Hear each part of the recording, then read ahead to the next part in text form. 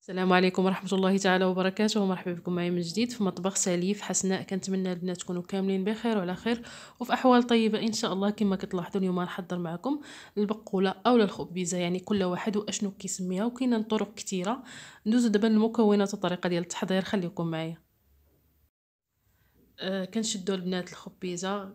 كنحيدو هذوك الوريقات اللي تيكونوا قاصحين وتيكونوا يعني كبار. كنقيوها مزيان تنقادوها كنختاروها يعني تكون فتية دغيا تطيب. أنا السيدة الله يجازيها بخير صيفطتها ليا مقادة منقية الله يعطيها الصحة.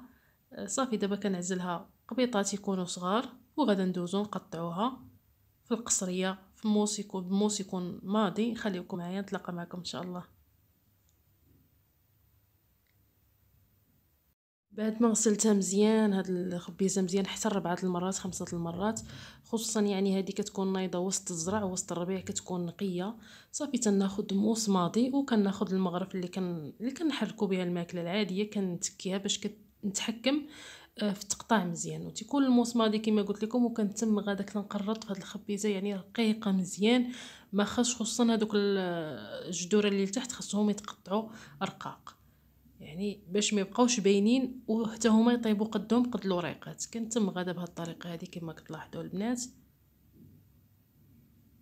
على هذا الشكل.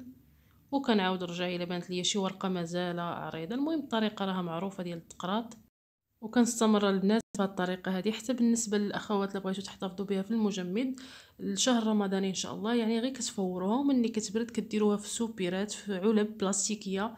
وتديروها في المجمد؟ ما كتوقع ليها نهائيا حتى شي حاجة مني كتبغيوها. كتجبدوها قبل بوقت وكتوجدوا ليها لاصوص اللي بغيتو الطريقة اللي بغيتو طيبوها بها كطيبوها بها. صافي ما كتوقع لها حتى شي حاجة بحال يلاه قطعتوها. كنستمر بهذه الطريقة هذه البنات. كنكمل الكميه كلها اللي عندي.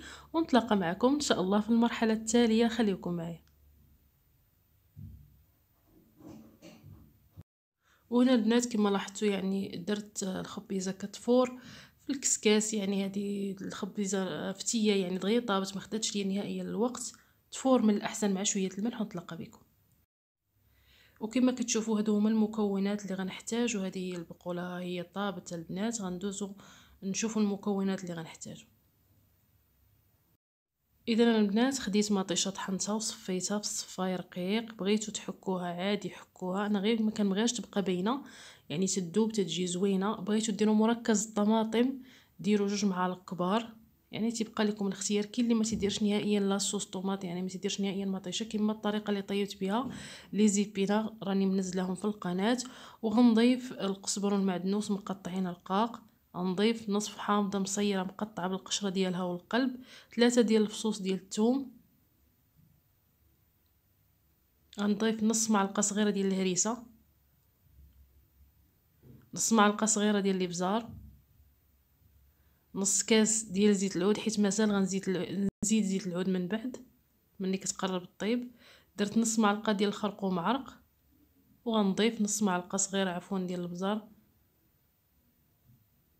وغنضيف سكينجبير صافي البنات كما لاحظتوا ضفت سكينجبير والتحميرة نص معلقة نص معلقة وضفت كاس ديال الماء. كنعتذر لأن الفيديو تقطع صافي وغندمج العناصر مع بعضها مزيان. غندير هاد الشرمولة طيب مزيان عاد من بعد غادا نضيف البقوله كما لاحظتوا البنات هي لاصوص طابت مزيان. كما لاحظتوا يعني حتى ليا مزيان مع بعضها. صافي دابا غادا نضيف آه، البقوله ونتلاقى معكم إن شاء الله في المرحلة التالية. خليكم معي. وهذه هي الخبيزه بعد ما طابت البنات يعني خصها طيب مزيان. كل ما طابت مزيان كتجي ملابسة مع المرق اللي وجدنا.